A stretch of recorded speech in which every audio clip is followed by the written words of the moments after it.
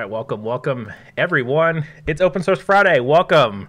Uh, I know you've been Yay. waiting all week for this, and uh, uh, we've been pretty consistent in the last couple of weeks. Not only we've had uh, Evan You about three weeks ago, we also had Paulus from Home Assistant, and uh, we now have Colby who's coming on to talk about. Actually, I skipped something. Gregor was last week uh, talking about open source maintenance and management of your repos, and then Colby is here. Colby, you want to say hello? Yeah. Hey, everybody. Uh, thanks for having me. Yeah, yeah. I'm super excited to have you on because we, we go way back, at least at least till November. I think, or maybe October. I'm not sure when we first met um, online. Um, but yeah, you, you just recently took a new role um, at Applitools. Uh, but rather than me explain what you do and why you're here, why don't you introduce yourself?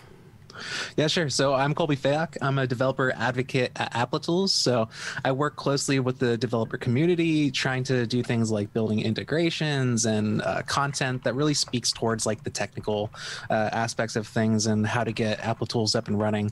Um, but generally speaking, like I also focus on building like educational content for things like React, Next.js, and general JavaScript. And I love GitHub Actions, which is you know why I'm here. And I'm not just saying that because I'm on here, but uh, yeah, that's me in a nutshell. Yeah, uh, I personally love GitHub Actions as well. Um, if you know me from the internet, um, I'm BWO. I don't know if I need to uh, explain myself or introduce myself, but um, yeah, I've been working on a lot of action content in the last month, and uh, what I love is that we're going to be talking about your action today. But before we jump in, uh, I just want to mention everybody, this is live. We are streaming on Twitch, twitch.tv/github. If you happen to be watching the YouTube video. Um, we cannot allow any URL. So if you drop a URL into the chat, uh, it will get blocked and you'll get uh, basically auto banned for 60 seconds. So um, appreciate it. That Someone was put, put the put my shoe on the head, which I'm actually wearing socks. I have no shoes inside, so it's just it's a family rule. but uh, maybe Colby will put his shoe on his head. Um, but also mention we do have a code of conduct, so definitely look down below in the description if you are well, well, definitely take a look at that if you have not got yourself up to speed with that, um, because we want to make sure everything is nice and friendly and comfortable with everybody who wants to come through. So please be respectful to our guests, be respectful to the people in the chat, and also we will be ask- answering questions the entire time. So if you have a question, drop it in a chat. I'll try to grab it. Uh, a lot of times the chat actually answers a question before I can get to it, so I'll acknowledge the people who answer the questions as well. Uh, and I will do my best to pronounce your Twitch handle uh, to the best of my ability. So uh, no promises that I get it right. Uh, but shout out to uh, I'm Maple Leaf who gave me the shoe on the head idea. Um, maybe if I can grab a newspaper or something, maybe that'll be uh, that'll be easier. Um, but yeah, uh, we are going to be talking about your action, uh, which is Applitools Eyes Actions. Um, so uh, I'm curious, do you want to? I guess actually, would it be perf- Would it be better if we talked about Applitools first and explain that before we jump into this? Yeah, sure. Um, so I'll wait till you bring that up quick. Um, Uh, I'm, I'm struggling. So there we go. so so Applitools is an automated visual testing uh, solution.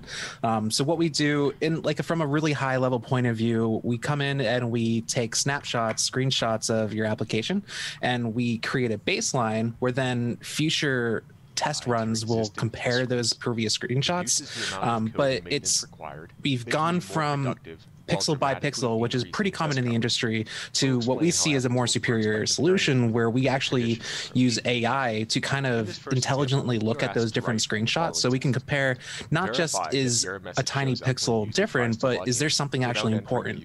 So that includes things like content regions where, you know, if you're just writing a new blog post, maybe you don't want that to flag uh, the test results, but if it's actually something important like the layout and the navigation, like then you can actually see the result. flag. Aligned to click Okay, excellent. And button. this And is this that, there's a uh, look at results across browsers because I know sometimes my browsers can have different layouts because of maybe Firefox and their how they do CSS. Yeah, absolutely. So there's a solution we have called Ultrafast. Test Grid, which it's pretty easy to add a bunch of different browsers into your configuration that'll just the tip stack up and run through all these different browsers and even like native and mobile apps. So you can cover, you know, not just browsers, but a ton of different use cases to make sure that your product is fully covered.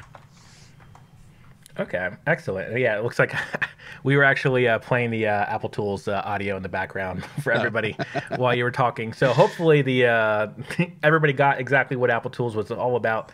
Uh, we can we can move on for that. If not, there's a great video that I, I am more than happy to drop in the chat too as well. So I'll drop that. Uh, but do you want to explain? Um, well, while you're here, do you want to explain the Applitools Eyes action? So um, most people, actually in the chat, just let us know if you're familiar with GitHub Actions. We can go back and talk about that. But for now, why don't we talk about uh, Applitools Eyes action? Yeah, sure. So I'll first start off like we have a ton of different SDKs that integrate directly into like pre-existing workflows. So if I'm using Cypress or Selenium or even Storybook, like we have an SDK that can easily fit into that and you know mostly just work once you configure that. But I also wanted to play around with the idea of what if we can come up with something like a GitHub action where if we just drop that right into your workflow file, it'll, you know, quote just work and it'll go out and, you know, scrape your or not scrape your content but take snapshots of your website and your application and be able to give you that coverage without really putting in a lot of hard work. Because you know some people might not have a testing solution or maybe they don't want to pile another library on top of that. So this is this is another way to do that. Um, the way that i'm kind of approaching that is uh, this kind of first iteration that i put together is what it'll do is it'll take that base URL that you can see in the snippet there, and it'll actually crawl your site. So there's a npm package called I think it's like Sitemap Generator where it'll go through in Node, it'll crawl your website. Yeah, I think it's Sitemap Generator. Uh, but it'll crawl, crawl your website. It'll create that sitemap file, uh, which is a pretty common format. And then inside of the action, I use Cypress to spin up the to spin up a browser and run through each of those URLs and take a snapshot with Applitools. Um, so the snapshots are really simple. I plan to add more configurations because there's a lot you can do with Applitools rather than just you know, like I was saying before, AI and uh, AI powered and um, as opposed to just simple pixel by pixel snapshots. But you know, I'm going to keep adding on to this and be able to build new features. Um, another thing, you can pass in your own sitemap file. So say you don't want it to just crawl every single web, uh, page on your website, you can pass in your own uh, sitemap.xml file, or even one of the other plans I have, you know, given that I'm big in the Jamstack space, I want to be able to take a static directory. So, say somebody can come in here and instead of providing a base URL or a sitemap URL, they can provide a static directory where we can see that, we can scrape all the HTML files in there, and then we can spin up a local server and run through that. So, it's just giving more options for somebody to be able to drop this in into any workflow as an action and get up and running with visual testing. Yeah, I love this, and um, I want to shout myself out one more time. But uh, I spent the last month in February doing 28 days of GitHub Actions because uh, I happen to be doing tons of GitHub Action work. And um, the one thing I love about what you just explained, but you went way more detailed than I even haven't gotten to. So like, if you look at my post, you won't get that much detail. Uh, so def- definitely, thanks for everybody for showing up and getting that sort of experience. Um, that was a um, deep, high level overview, right? deep, high level overview, exactly. Also, I got some dependencies I need to update. Um, but I, I, bring this up because I've got this action that I use, um, and I, will get to a point real quick. And what's up, Marco? Welcome in the uh, chat. Um, I've got this Lighthouse action, and it actually looks at the Netlify deploy preview uh, directly because mm. Netlify you get a predicted uh, deploy preview URL, which appends the, um, the, the branch name and the name of the site, so you can predict that. So what this action does, it actually does a Lighthouse CI check um, directly in the, the PR and within their action runner, and I love that so much. And I wanted to do that similarly for like my Vercel deployments as well as my GitHub pages, but well, GitHub pages work because it's predictive URL, but I haven't built that yet. But when you talk about the sitemap generator and using Cypress to kind of build that it, an experience, not the experience, what I'm talking about, the environment. Um, mm-hmm. Now that it's clicking in my head of like, if I wanted to rebuild that experience that's not just Netlify specific, I could build that for any sort of experience using things like Cypress as well. Yeah, and it's interesting. I, I probably want to look at your lighthouse thing and borrow ideas from there and yeah. you know back and forth because like ultimately I want to I want it to be able to have it so you can configure it, you know, however you want, but you don't have to go out of your way to do those type those types of things. So, um, you know, again, just so it just works when you drop it in with whatever your project solution is. Yeah, yeah. And um, speaking of just works, I know we're we're kind of racing through the uh, the conversation, but I kind of want to see it just work. Um, so you had mentioned before we started that you had a, a quick demo to be able to show. Yeah, sure. Um, did you want to uh, so if you go to my github and i think if you literally just inside of the url put the word test in front of or yeah that works. I was going to say test in front of the uh, repo name. So oh test gotcha. app, so test applitools eyes actioned. Uh, that's great naming convention it was unintentional, but it works pretty well. it's um, not forgettable at this point. Yeah. So I think we can first of all pull up the workflows file. Yeah, and we can see. So here I have, I think I have, th- yeah, three different examples. The first one. Um, so what this is going to do every time a new uh, every time somebody pushes a commit up to main or a new pull request uh, targeting main, it's going to fire this action. And what it's going to do is it's going to, in this first one, it's simply going to take the top level URL and run a screenshot on that. And the reason by default it only does the top level one is, as you can imagine, if you're crawling a site, that can get really big. So I want to try to control that so that if somebody's just trying it out, they don't, you know, unintentionally DDoS themselves or something. Where does the, um, where's the specifically grab the top level? Is it this right here? The base URL, yeah. So gotcha. it'll just if if it doesn't have a defined depth, it's going to just simply use that and then use that for the visual testing. Um, but then, as you see in the second example, I have a max depth defined, and so what that'll do is it'll find any link on that top level page and it'll also provide visual testing on each of those links um, I think it might be domain, domain specific. I can't remember. Uh, I would imagine so, but um, that way it's only going one level deep, so it's still going to grab a lot of uh, value off of that sitemap, but it's not still going to be super deep. Um, but that's configurable. You can really set it up to do whatever you want. Um, it's just, of course, that's going to scale the more you have more pages to your site. Uh, yeah. Uh, but then finally, at the end there, I just have another simple example where you're providing your own sitemap file. You know sitemap files are really common so like people specifically maintain those to whatever their preference is so maybe you just want to pass that in and only have those uh, pages checked out. Um, but either way whatever the option is it'll grab that and it'll run the test. Now i'm curious if you're actually able to see the logs on your end um, if you wanted to try going up to the actions tab. So like you can see all the workflow runs. Yeah i should be able to see the logs. Yep. Yep. Cool. Are you able to click into? I think. Uh, it should be this one. Yeah. Cool. So what it's doing here, you can see it's spinning up Cypress, and that's where it's starting to run the visual test. So in this example here, we see some uh, green check mark and then a few red flags. What that's saying is when it visited that page and provided a visual snapshot, it found a difference in that page, and it's flagging it so that we know that we can look inside the Applitools dashboard and figure out what that change was. Um, oh, nice. Yeah, am I able to click this, or I need to have access to your um, Oh, your so that's Netlify app. So that's probably one of the reasons why this one failed, because it was a 404. Um, I okay. think I haven't ran it on this specific one in a while, and I just ran it this morning just to get a, um, get you know, something that we can yeah. show off. But it's it's a good use case because you know yeah. it failed, and it's something but, that would flag in Applitools. Yeah, and it's a good thing. It's a good use case to find. Like if sometimes we name things. Actually, I'm going through Oh, I just hit my mic, but apologies for that. Uh, I'm going through some updates in the GitHub Hackathon site right now, and that's a thing I've mentioned before on the stream and on the internet. But um, like we're changing the names of different files and different pages, and at the moment it's a Gridsome app, so it uses static site generations to develop those things. Uh, but very easily, we we're na- renaming things and finding that like things are broken. Um, mm-hmm. So, like, if you happen to make a lot of changes or you take a lot of contributions uh, from the team, uh, it's nice to be able to get another check to see where where things sort of fall over and break.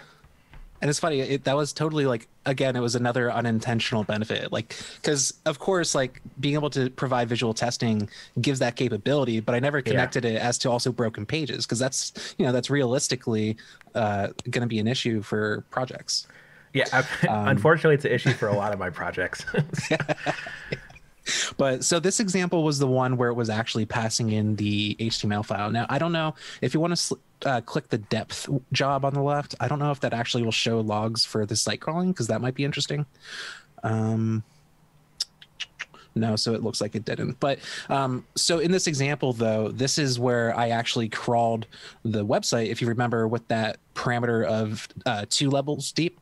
Um, so if you scroll up just slightly there to the uh, to the page logs, those are that's visual checking all of those different pages that were a link on that top level page. So it's it's automated. I don't have to worry about maintaining it. Anytime I add a, a page to that site, it's automatically going to get grouped into that um, the testing.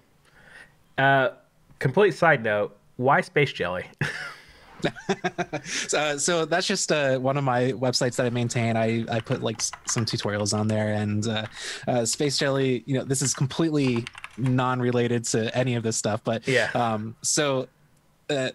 I, I've always thought jellyfish are cool and I really like space and I gave my friend that idea for to like commission a, a logo kind of thing and that's what he came up with and I fell in love with it. Um, shout out to Trevor Lang if you're watching, but oh. um, I love it.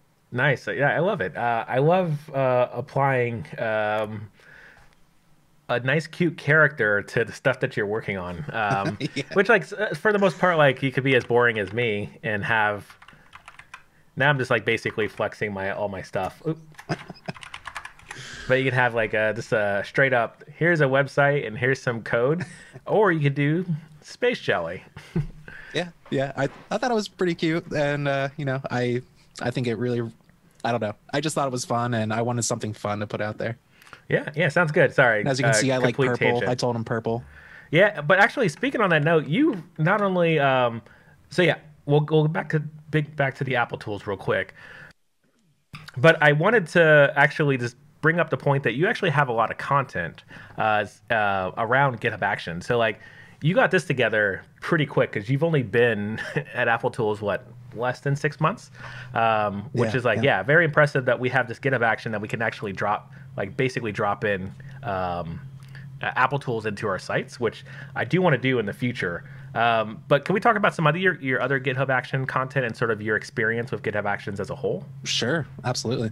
Um, yeah, so like I have my content specifically, but I can also talk again about another Applitools use case, and not just to pull it over there because I think it's interesting. Yeah. Um, so uh, getting to the content in a second, but another use case that we're using it for with Applitools, which I find really uh, interesting, is um, as you might like be aware, like when you're helping build developer integrations and stuff, you want to ultimately provide like examples for those integrations. And so, for instance, with Applitools, we have different tutorials where we ha- show off how you do it with Cypress, Selenium, et cetera, et cetera. And I, as I kind of inherited maintaining that, like I realized that kind of keeping up with all those changes, and you know, as the SDK changes, as other libraries, like those things tend to break, right? So, how can I come up with a way where it's automatically checking every time, every time dependent bugs me? How can I make sure that it's still still working. Um, so I was able to use GitHub Actions where now, anytime there's a pull request, anytime there's a security pull request, uh, it's going to run through those tests and make sure that the SDK is still working properly. And further on that, we're also going to come up with uh, another use case where we're going to I think we're going to run like a daily cron where we're going to try to upgrade the packages. So um, that way we can always pull in the latest version of the SDK and making yeah. sure that it's still working with the examples. And again, it's just this is providing like a maintenance layer that I don't have to worry about when we're trying to make sure that these examples are always working. Yeah, I'd, I'd be curious of how you are using actions to pull in packages to maintain those uh, SDKs. So I have uh, we haven't done the upgrade portion yet, but um, what my plan is is since you can run really any command line scripts, my idea is that um, I'll run npm install uh, at latest for the SDK package, and then uh, since there's also that, I'm sure you're aware of the package to check the code back in with the uh, GitHub uh, by passing in the GitHub token. Like that would be the idea. So we would upgrade that package, and once it gets checked in, I would think that that would kick off another example run and make sure make sure that that works. Yeah, yeah, it's um, there's it's a conversation I've actually had a couple times with um, uh, Gregor. Gregor, who's actually who was just on the stream last week. Um, so that's why I asked about using an action because uh, a lot of okay. people aren't f- familiar with the this term uh, GitHub apps, um, where if I pull up Probot, uh, Gregor actually maintains this tool called Probot, and the hmm. difference between GitHub Actions and the reason why GitHub Actions uh, is, is so nice because it gives all the bells and whistles for free. There's no installation. Uh, but with Probot, you you might get uh, some limitations uh, with GitHub Actions and the sort of what you can do, especially at forks and, and um, third party mm. users. uh, with GitHub Apps, it actually gives it, once you install the, the GitHub app, it actually gives the um, uh, permissions to be able to do things like maintain uh, files, even maintain actions. So it'd be something to, to look into. Uh, I mention it because Yeah. if anybody's not familiar, we do have a playlist of all our previous uh, Open Source Friday guests, and I'm, I'm struggling to find Gregor's, specifically Gregor's um, chat. Well, we actually did talk about this because what he does is he maintains 25 different repos, uh, and those 25 different repos are all automated and maintained through um, through a GitHub app and some GitHub Actions as well. So that sounds. Uh, so I I've used I think it's called Depfu before. Have you heard of that one? It sounds No. like it's of so every so it's like Dependabot but more configure configurable. So I can set it to like um, try to keep up to date. Uh, I think with the FU. Uh, so yeah, Okay. oh, and now I just I'm spelling some weird. D E. I could double check the spelling, but I think that's it. Yeah, there Got we go. Um, so like not only will it do security updates, uh, kind of like the Penabot, but this will also like you can set it to every so often it'll create a pull request with a, mi- a minor update, right? That way you're kind of keeping up to date dependencies. So it's really nice. Um, Yeah. I'm guessing it sounds like the Probot's similar to that. No, Probot's actually if you wanted to build this. Um, so if you wanted to build your so similar to GitHub Act- Actions, you can build. You have all the pieces to build your own integrations, interactions with your SDKs. GitHub uh, Probot actually is the sort of sort of base layer or the template to be able to build Depfu or Dependabot. Dep- Interesting. Dependabot was actually built on Probot. Um, so Oh, that's sort of the wow. um, actually, Dependabot wasn't built on Probot. It was built in Ruby. Hmm. Um, but the idea, the same approach that they took took is similar to like Probot, which basically gives you all the bells and whistles up front. So these are some examples. That's really cool. Um, but no, I was just thinking of um, of the sort of maintenance too as well because I've been working with uh, Gregor on this other thing called Octoherd, and Octoherd is the the ability to have your scripts. So if you wanted to run through, so outside of just dependency management, imagine you have a template repo, um, and you want to basically when you update the template, you want to update all the other repos after the fact that were based off that template. Um, Also, recently people changed their branch uh, default names. Uh, imagine going through all your repos, updating the branch names to whatever your default branch protection rules. It's more of like this is actually more focused on like your settings tab and what how Mm-hmm. you manage your repos in the settings or in your .github folder. So That's it's pretty neat, um, yeah, it's it's really neat. He was on last week to talk about this. So he he's like next level when it comes to managing multiple repos because he kind of ma- maintains projects on his own. Um, Yeah. but uh, let me drop in some links in the chat, and then we can go back to um, talking about Applitools because uh, actually we didn't go we didn't get into the content either as well, Yeah. which I I realize. uh, but do you want to quickly talk about the sort of your your egghead courses and the other content you've been sort of sharing around GitHub Actions? Yeah, sure. So, just generally speaking, uh, when I first kind of learned about actions, like it took a, a second for me to kind of make it click, like that it's like a CI/CD kind of tool that you can really simply use. But like once it did click, like I feel like it just opened up a lot of doors for things that you can do right inside of your GitHub project, rather than leaning on like a bunch of third-party services kind of coming in there. Which you know, there's a lot of great third-party services, but I, I love that I can just have this workflow file in there.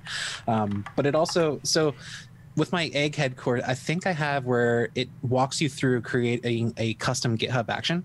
Um, but then on some of like my YouTube channel content and the uh, um, yeah, we can see that first. Uh, yeah, right there. So the automate um, JavaScript and GitHub Actions. So that'll actually walk you through um, how to create a node script and kind of like what I did with my uh, GitHub action for Applitools, and it'll actually walk you through how you can create one because it's really not as bad as it might seem from the outside because there's a few configuration files but ultimately you're running a node script and once you have that node script you can really do whatever you want so Yeah. it's it's really powerful Yeah, yeah, that's um. So, are you using a template to to build yours? Are you using the uh the GitHub Action toolkit to like what's the uh, what's the trick when you start going through some of this uh, content?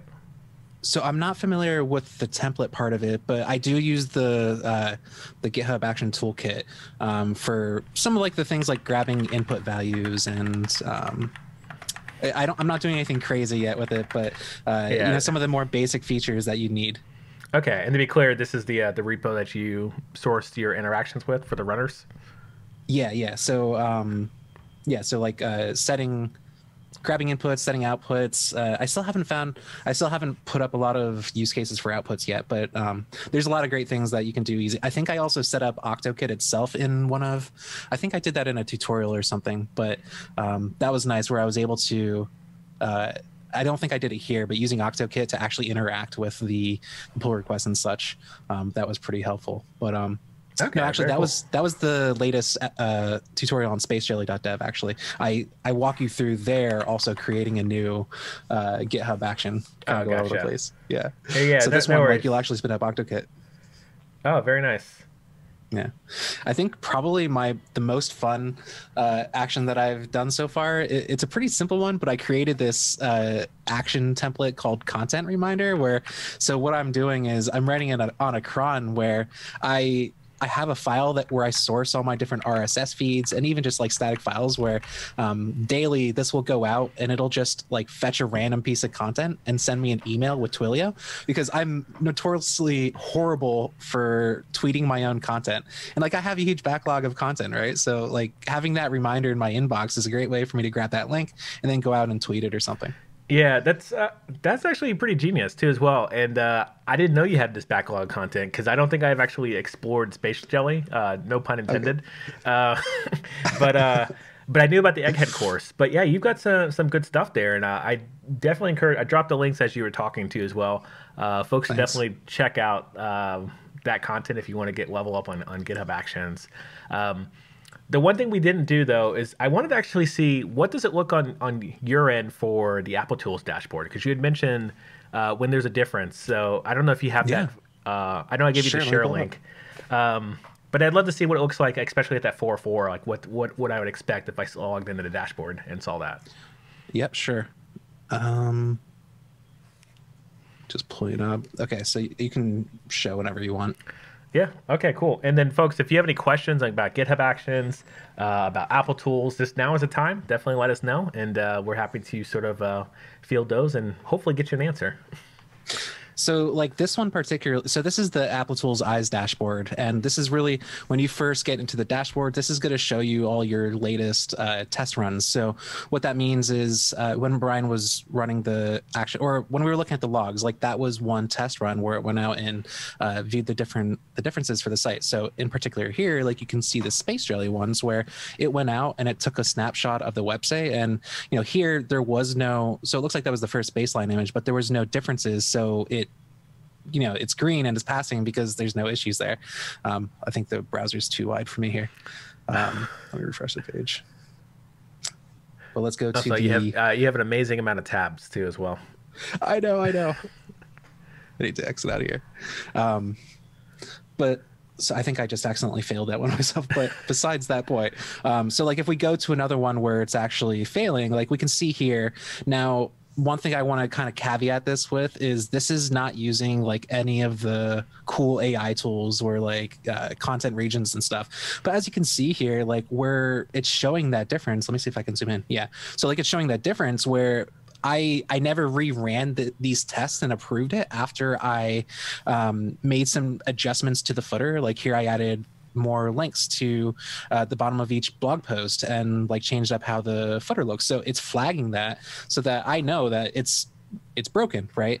Um, now in this event in this case i actually intended it to be that way. So it's you know i would approve this and i by just like hitting this thumbs up here. Um, but like if that wasn't the case i now have that example where i can say no that's not good. Uh, that'll go back to uh, you know, then the developer or whoever can go back and fix it or, you know, figure out what we need to do to resolve it. Um, let me see if I have any other examples. Uh, yeah, I'll just from um, yeah so like another one is like we have storybook integration which is like super easy like you just literally need to run um, a single script and it'll go through and capture all of your different components but here um, like this is going through and capturing all the different components of a storybook and that's all automated like you literally don't have to set up anything for a storybook integration um, what I wanted to also show, which I don't know if I have a test run, ultra fast batch. Okay. So like in this example, you can see the OS here, like where you one of the questions earlier was can you do different browsers right yeah. so here in this example like we're doing uh, here we're doing linux and chrome on chrome on linux or or it looks like this was on a Pixel 2. Then we have an iPhone X, and you know we're doing all these different uh, devices, which you know this is this makes it so much easier to do cross browser testing so that you can have those snapshots and understand where things are actually failing. Um, you know, in this instance, again, like there wasn't any issues, but if it found something, it's going to flag that for us, and we know that we're you know good to go um, which you know it's not going to provide that level of detail for you if you're just doing simple like um, like imagine if you're just doing like you're testing that a particular element is there. Like you may, might be missing the entire context. That element might be completely off the page. You don't know that. But because this is actually what the user sees it's going to actually be able to compare that really well yeah, yeah, and I like the fact that the the different devices are available for you for testing. Uh, I used to have a Pixel uh, before I lost it in Brazil. Uh, long story, oh, um, no. but I specifically used it so I could do some PWA testing and stuff like that. And uh, yeah, I, I don't want to carry two phones ever again because it's it's hard to keep track of, especially the one that you don't really use. Uh, you only use for programming. Um, right. But yeah, that's that's really cool to see, and I like the the fact that you can do that. Yeah, and the thing that that's great is so coupling it with tools like Cypress or tools like uh, you know anything where you can interact with those pages on the browser. So um, in this instance, in this particular test case, like uh, what we're doing is inside of Cypress, we're clicking on the login button. Now this is just a you know a simple static page that we have as the demo, but we're clicking on this so that it goes to this next page. So we're actually testing those interactions, not just one-to-one things. We're actually testing did that login request work. Uh, now imagine that with like end-to-end workflows where you want to capture that entire process and it'll capture all those different browsers for that. Excellent. Yeah. Appreciate you yeah. uh, giving us the i guess eyes on the uh, the Applitools uh, dashboard too as well. There we go. But can you clarify Applitools eyes actually is it it's a product within Applitools yeah, so like the I, we have the Eyes SDK, Eyes is the product, and then the ultra fast test grid is like on top of that, where it's going to actually go through and um, provide a lot of the additional capabilities on top okay. of it. Excellent. And uh, there's some questions coming in too as well. I I want to actually propose this question to you, which uh, does Ram? I think I got that right. I think I'm gonna if not, that's what your name should be. Uh, where would you say that uh, GitHub Actions shine? Like, where do you, where would you, from all the content you've done, like, where do you think it really shines within your developer workflow?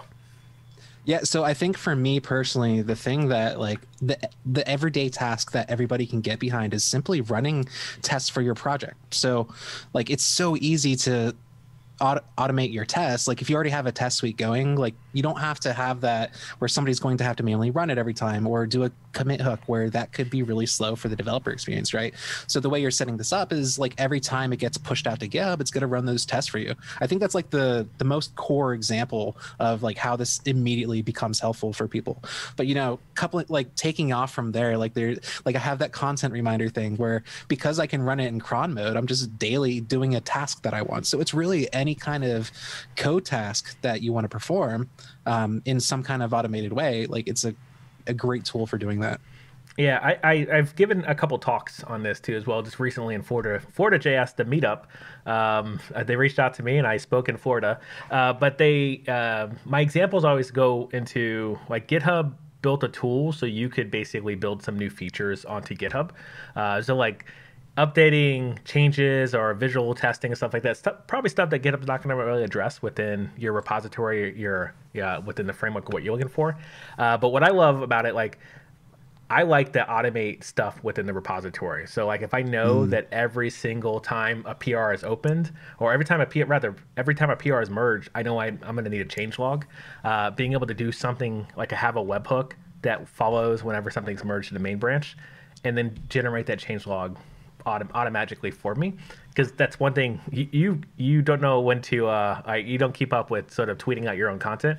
I don't keep up with keeping proper documentation. So if i have opportunity to automate a piece of that uh, i will do that. And uh, yeah definitely check out my content. I've got lots of examples on that like going back to the open source example, like when somebody does create a pull request, you have no idea. Sometimes you have no idea where that pull re- request is coming from or what, what it's doing. So, like having that GitHub action set up on your account, like when somebody creates a pull request, it'll automatically run those tests. Like you can even run like linting and prettier if you want to format those changes. Like that way, it's whenever you have to put your eyes on it, you're not wasting your time testing if it works first. You're just making sure that you know the code actually works with those tests.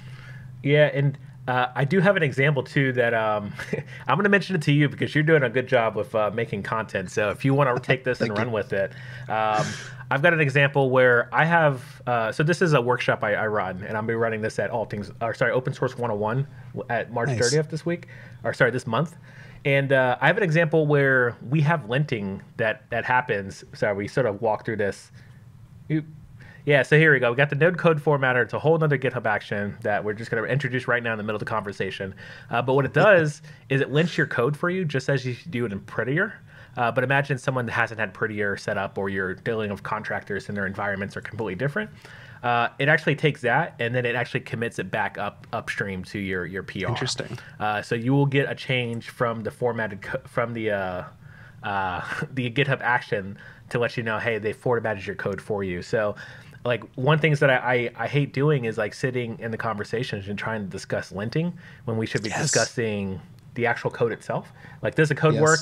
Is the code arc like is it architectured in the way that we think it would survive code smells and all this other stuff? But yet we we get really focused on like double quotes or single quotes in JavaScript, and I think it's valid. Like you should make that decision, but you should make the decision once. Uh, so when he exactly. asks like where GitHub Actions shine, it shines in those areas where you just do out of the box things that you're not able to do. You know, I can't convince everybody to use VS Code. I can't convince everybody to use this thing. Um, I guess you can if you get a JetBrains license. Everybody uses JetBrains, and we're we're off to the races. But yeah, unfortunately, not everybody wants to code the same way. Um, I'm trying to convince yeah. everybody to move to Vim, and it's just not working. yeah, one way I like to put that is like you you're making the robots being the bad guy, right? Yes. So like you don't have to have the tension in those conversations of a code review where you have to nitpick on those little things because they are important, like you said. But you know we don't need that in a code review. Like we just need to look at the major functionality. So it helps so much with that. Yeah. Uh, I wanted to take a step back and look at the go back to the action we originally started the conversation with because um, we didn't really get into we mentioned the toolkit um, to be able to interact with the actions. But uh, I wonder if you're able to get, provide some insight into, well, one, I'll get to the, the proper repo, um, but some insight into how this was actually built. Sure. Um, so I think we can dig in right inside. Do you want to start from the top? So yeah. Uh, so I'll preface this with the reason. So if you want to go into the Docker file first, um, yeah, like this is the entry point in the application, and you know I'm I'm not a Docker guy. I don't know what I'm doing really, but the reason why I went with the Docker approach is because I was having a hard time figuring out how to get the Cypress environment up and running properly with all the things that are needed and like the caching mechanisms and you know i talked to gleb over at cypress and he mentioned maybe cypress can um, cr- uh, create a a function that they export to install Cypress right in Node, which would be great. Um, I haven't gotten that far yet, but this provides me a way to spin up an environment where I know that I can run my action uh, code and it's going to work. So, really, what this does, it points to the sh file, which if we want to go to the sh file, yeah, the entry point, which oh, is it in source? No, no, no. It's it was there. It was yeah under the Cypress file. Oh, there we go. Yeah, there we go. So I don't know why. I again, like this that. is. so like again, this is a simple one. Like we go into the workspace directory. Um, here, I'm actually cloning the Applitools eyes action. Um, the reason I'm doing that is because when we're working in somebody else's workspace, and then we create the environment on top of that, I want to be able to pull in that action code that I can use to run it. Now, I maybe that's not the best way to do it. There, I'm sure there's a better way to do it, but again, this is how I figured out yeah. how to do it. Uh, but then we install the dependencies for that, and then we finally run the script, um, and that's where the meat of it's going to be. If we want to head over there. Yeah, and the the actual JavaScript file itself. Yeah. Yeah. Okay. Um, so here yeah. this is where we start to pull out the actions core and really i'm only using the core for this one because um, since it's not in, like super complex right now. What I'm really only using it for is getting the input values. So yeah. we can even see right at the bottom of the screen there that um, I'm grabbing the API key. I'm grabbing the different configuration variables so that people can set their base URL. Um, but really just so that people can configure it from the outside when they all they want to do is drop it in their workflow file. Um, so a lot of the top, probably most of the script is actually just grabbing the input values because then um, as we get towards the bottom or the middle rather, this is where I actually do the the sitemap uh, generation. So um, once we have that base URL and we kind of determine what kind of depth you want to do, we'll run that sitemap generator function, which will generate that file. Or if you already have your file provided, I'm going to get that sitemap so that we can use it. But either way, at the end of the day, you're we're ultimately going to have um, a pages to check variable, which is going to have an array of all the pages that we want to go through. Okay. So as we get down to the bottom here, um, so this is where we actually run uh, Cypress in a scripted way. So they have this uh, method run, which allows us to pass in the configuration that we have.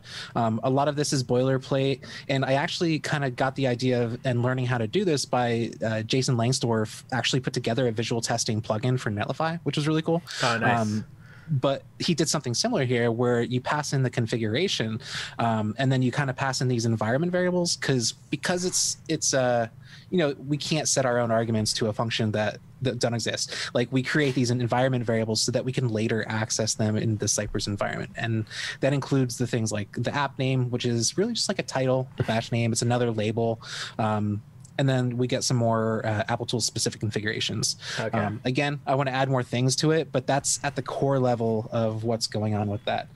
Um, yeah. So I think the uh, for the sake of getting this working and having an example, like this is this is great, and I'm I'm sure I could see where you could sort of pull the levers and add the new, the new functions and um, expose more of the Applitools API. But yeah, this is um, yeah for for me, who has built actions, this is readable and writes JavaScript. Uh, I hope that folks, uh, if you do have questions, um, this is open sourced. So I highly recommend you know drop it a star, give it a fork, open an issue. Appreciate that. Um, and then then we're able to uh, you know continue letting open source win. Yeah, and I, I do want to show you one more thing. Yeah, because uh, I want to show the actual Cypress test. So if you go back up to the top level and you go to the Cypress directory. Yep and then integration, and then the eyes. So the cool thing about this is this is a really short and sweet file. So literally all we're doing is we're taking those pages to check the array and we're looping through it and we okay. open up eyes on each of those URLs and we pass we so we open the eyes, kind of like you imagine a camera lens or your your eye. Uh, yeah. You, we check the window, grab the page, and then we close the eyes, and that's all you do. Like if you even want to integrate this into your own Cypress workflow, like that's all you have to do to get up and running. So it's it's really nice and short and sweet, and just passing in the configuration into Applitools. Uh, that's awesome because like I don't have. Uh, I know Daryl just uh, dropped in the chat. I really need to learn Cypress. I feel like Gleb was actually on the stream back in December, so I learned Cypress when Gleb came on the stream. Okay. Um, actually added it to my BW Live site, and uh, nice. that's as far as I got. I wrote two tests and basically have not gone back to writing more tests. Um, I just need more code just in general on that site. Um, yeah. But definitely need more tests. But I like that I can basically have not only Cypress, but also I can also add Applitools to my my site and get some of that visual testing as well. Yep, yep. There's not there's not a whole lot that you have to add to get it. And again, this is just the base level. Like we talked about before about like the different browsers that you can test. And of course I want to eventually be able to have that configurable, but like this gets you so much with just this little snippet. Yeah, and uh, I wanted to grab the uh, the link. Folks are asking about my workshop that I mentioned in passing. Um, I will drop it in I'll drop in the chat so that way y'all can catch it. Uh, I won't actually find the that actual awesome. workshop, but essentially, I, I, what I just showed Colby, I walked through that uh, with the. I think we had 200 people last time we did it last year, um, which was oh, a lot wow. of fun. Uh, if y'all, if you just want to learn about open source, I highly recommend checking out this event. It's free for everybody who wants to register, uh, and you get a lot of sort of aspects. Um, I went to last year. I went to an open source design um, talk or workshop, where I learned about design um, in open source and how to sort of That's accomplish really cool. that, which is yeah, some good stuff. But yeah, I love the theme of that page. Yeah, yeah, they, they do a good job. Actually, Todd, uh, had, uh, Todd and the the Red Hat folks have been in partnership with this, and they do a good job of sort of this, you know, encouraging people to do open source. I love that there's an event that is actually just focused on 100% that, um, and it's all beginner focused too as well. To also point that out. That's awesome. Excellent. Um, yeah. So, yeah, that's pretty, pretty like approachable. Uh, the one thing I did want to ask about the, the Docker file, I'm not even ask. mainly just mention because not a lot of people are aware of this. Because I know you'd mentioned I'm not a big Docker person. Uh, I literally learned Docker. Uh, well, I knew Docker before, but I started using Docker more heavily because of GitHub Actions. Um, mm. But I, I started off this conversation with a um, with my links to there we go. Build your own GitHub action without a Docker file. Um, not a lot of people are aware of this, but we have this feature called composite run steps. Uh, and this actually allows you to put all that sort of bash scripting directly in an action.yaml file, which we didn't actually take a look at. Uh, so I do encourage you, Colby, if you if you yeah. want to back out of the, the sort of Docker rabbit hole, um, you can definitely check that out. Um, but as, I could actually even show an example too as well. But I did want to take a look at your action.yaml because not a lot of folks are aware of that as well. Yeah, no, that's great. And nothing against Docker. It's just like I have a hard time understanding like working between the different environments. So that's you know that's why it's a little bit of a bear for me. Yeah. Yeah, and Daryl mentioned a really good point that not most devs are not great at Docker. Uh, except we just the goal is really consistent environments. Uh, and the thing about that is that GitHub, what we're trying to do with this, um, uh, well, I already lost my link. Uh, but what we're trying to do with this is um, give you that consistent environment without you needing to leverage Docker if you're not really familiar with it. So um, that's awesome. Here, the similar to how when you run actions, you can have a run step that runs Bash. Mm. So like when you're installing okay. that Cypress um, caching, or I'm not, I forgot what it was already. Uh, you can actually do that sort of setup here. Interesting. Yeah, so definitely that's worth awesome. a look. And then also my blog post, I do go through details on how to migrate a Docker action into a composite run step action, which is essentially delete the Docker file, add it to the action YAML. That's awesome. Uh, yeah, and then the Daryl uh, follow up on his question: GitHub Actions ran using Docker Actions 1.0, so that was the sort of the one way to do it. Uh, that changed when Actions 2.0 came out, which was I don't know if we really and with in the world of GitHub Actions, I don't know if we actually spend a lot of time really focusing on version numbers, because um, we don't. Um, but I didn't even I, realize that there was like a second version. Yeah, in 2019, in the fall of 2019, we uh, actually not the fall, it was the spring. That's when we added CI as part of the the functionality to Actions. So Actions did okay. not ship with CI originally in 2018. Uh, so when 20, when 2019 versions of Actions came out, uh, we made it possible that you didn't have to use a Docker file as well when running Actions. That's awesome. Yeah, and again, they both work just as well. The one caveat is like depending on how much work you're doing in Docker and setup, it could take longer. Uh, you can actually use a lot of built-in caching and stuff like that with GitHub's uh, runners by going the composite run step. So use yeah. at your discretion. You'll definitely pull the levers, play with it, and see if it works for you. Yeah, and when I was talking to Gleb about that, like he made a good point. Like I and I didn't realize how much that GitHub actually ships with the environment. Like I know the AWS CLI is there by default, and like he was mentioning that there's browsers by default. So like that's a lot of like basic things that people can use when they're working with their sites. It's awesome. Yeah, it, I, I, the the feature, and I didn't mention. I was going to say like I mentioned before, but I didn't mention this. But I, every time I talk about actions, I mention this. The the whole point of actions is so that GitHub can give you some tools and then get out of the way. Um, so mm. with the action hosted action runner environment, we're giving you we're giving you the minutes, we're giving you the environment so that way you can take it and run with it. Uh, and if it doesn't work for you, you can always do a self-hosted version. Uh, you could pull out the Docker. You could do whatever you would like to do to make it work for you. So uh, yeah. I love having questions with open source maintainers and learning their issues and their problems and seeing if I have an answer for it. If I don't, I love talking to the PM team and saying, hey, this open source project could use XYZ. Would you like to put right. XYZ into the runner? right yeah, and I think it's great because like because you can run node scripts or you know whatever scripts you want, like there's so many possibilities of what you can do. Yeah, yeah, yeah. Good times. And uh, folks, uh, it seems like we're, our chat's getting livelier, uh, livelier now. So if you have questions about GitHub Actions, Applitools, uh, if you have questions about Colby and uh, how he's making that purple light in the background. Um, definitely, uh, chat's open for questions. Uh, this is Open Source Friday, so if you just joined us, uh, GitHub, we host open source maintainers, action creators, contributors uh, to talk about their projects and give them a place to, you know, get those shiny stars. Uh, just kidding. Stars are great. but on that note, actually, did you have anything else you wanted to add about the action? I did have a, another off off the cuff random question but I didn't want to interject it and get you off the the rails.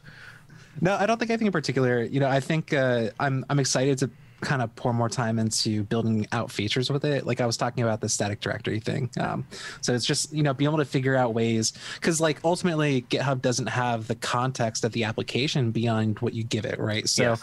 if I need to figure out ways to do that configure in a configurable way for people. So um, you know figuring that as i go along but it's it's a cool challenge and i'm having a lot of fun with it. Yeah, and I would encourage anybody who also is doing um, a lot of this action work, building stuff for your company, like Colby's doing. Uh, I do encourage you to check out the GitHub support community as well. Um, It might not be as clear, but if you do want to talk about GitHub Actions, just go into the ecosystem tab. Uh, and then we have lots of questions that are unanswered. We have a lot of questions that are answered. Uh, so if you're just sort of like trying to figure out, hey, Brian mentioned this thing, I forgot what it was called. I'm using Docker, but I don't want to ask those questions here. Um, our support team, our PM team, our engineering team, they're all in here answering questions for you. So um, I do encourage you to just definitely check that out. So moving on, I did want to ask you about one thing that honestly I I used to ask this to all the people who came on the Open Source Friday, uh, which is GitHub stars. Um, a lot of folks like they they have questions about GitHub stars, and uh, I'm doing a whole this I'm building a whole nother project um, outside of GitHub where it, it encourages you to um, contribute to open source. It's called Open Sauce, and uh, it has uh, a new feature I've been building for the past couple weeks on stream, where based on your interactions with GitHub, it will remi- it will basically suggest contributions that you can make. That's that's the high level. That's really cool. Um, I haven't got that far yet, so it's really cool. But it's right now it's just an idea uh, in a database. I just have a I have a database of some projects that I'm going to be doing some weird checking with, um, and uh, the question uh, I don't know how to akadakadak. uh, GitHub package replacement npm registry. The answer is no. npm registry exists. Get GitHub packages exist because there are other use cases that are needed uh, for packages, especially in the enterprise world. Uh, if you want to host packages for your organization, uh, it's a little different approach. So think outside JavaScript uh, for pack- GitHub packages. Um, man, it's like I'm doing my job this 24 7 all the time. Um, so I actually wanted to. Uh, a lot of people don't know this. You can actually go into GitHub Stars, and I'm going to put your name, which I think I spelled it correctly, and I can yeah. see the last stuff that you uh, you have starred. So, cool. which is uh kind of closes up the conversation. I'd like to ask you questions about the stuff that you've been starring on GitHub. That's fun yeah So anything anything here sort of jumps out at you? so that top one was interesting to me um the uh so i i really like to use um man i'm trying to read can you scroll down a little bit just so i can see what the the um This is amazing. How do you, who thinks of this? right right right um uh, but it was yeah so i'm a big fan of scss and Okay. Part of the issue that this person was trying to solve was that so if you're using something like typescript or uh, i think even like you know css and js like you don't get the same uh, type generation tools and stuff like you get uh, when you use SCSS. So this person came up with a solution where you kind of write inside of your SCSS like JS doc where you define those props and what it can do to change the styles, and you get this auto generation. I thought it was a really cool idea because I haven't seen something like that yet, and you know, as an SCSS fan, something like that is valuable. Um, but yeah, I just thought that was neat. Excellent. I, honestly, I'm stuck on this. Is that supposed to be Freddie Mercury? I'm like trying to. I think so. That's what. That's how I take it. Yeah. This is excellent. Uh, I'm going to give this a star because, not that I need this, but I just think the the effort that they put into their um their README uh, is worth a star. So everybody, uh, if you're interested in learning more about SC, SCSS or Sass, um, I love Sass. Yeah, I, I used to use it a lot back in the, when I first started in the web development program, not program. When I started using web development like seriously and actually building projects that people used, um, Sass was huge, uh, and I used it pretty much in everywhere I, I touched. Uh, and I've sort of fallen off the train mainly because I start a lot of new projects, and it's just it's more work to try to get everything set up the way I want it to, and they're like Sass Yeah. isn't as included in a lot more of these um, frameworks and boilerplates. True. So I've sort of fallen off the Sass train. Um, I use PostCSS at this point now. Okay. Yeah, I I created like my own. So I use Next.js a lot. So I created like my own starter where I have it already boost all bootstrapped and stuff. But um, yeah, like I haven't ever hit the like I know there's definitely a lot of benefits with something like CSS and JS, but I don't think I've ever hit the limitations of Sass because like a lot of times I'm working with a small team or something where it it doesn't really hit those uh, um, you know limitations as much. Yeah, excellent. And it looks like you're uh, just looking at your other stuff. Oh, Final Space API. That seems. Oh yeah, let's dig into that one. Have you heard Have you heard of Final Space? I have not heard of Final Space. it's it's my favorite cartoon. Uh, Olan Rogers, it, it's an amazing. So it's like a it's like a epic space journey, and I love it so much. But um, this uh, this person put together uh, an API for it. You know, I'm sure you've seen like the PokeAPI, Yeah. and like those kind of things. But Yeah, the like, Game of Thrones never back in the day. Yeah. yeah so there was never a final space api and um now we have one and i love it Excellent. Yeah. I, honestly, is this like uh is this on Cartoon Network? Where's it um where is this um so it's on tbs but now i think they put the the first two seasons up on hbo max um so Nice. it's yeah and i think out, other countries have it on netflix um but yeah it's a tbs show but it's it's so like if you're into like that kind of like animated uh, Yeah. shows like it's space adventure it's so great is it like off the wall like Adventure Time?